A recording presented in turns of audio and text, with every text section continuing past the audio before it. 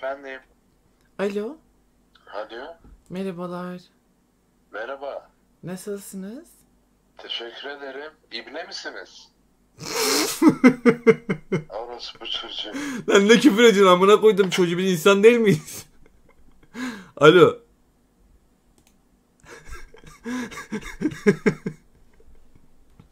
Oğlum bunlar nasıl insanlar? Bunlar nasıl yaratıklar amına koyayım?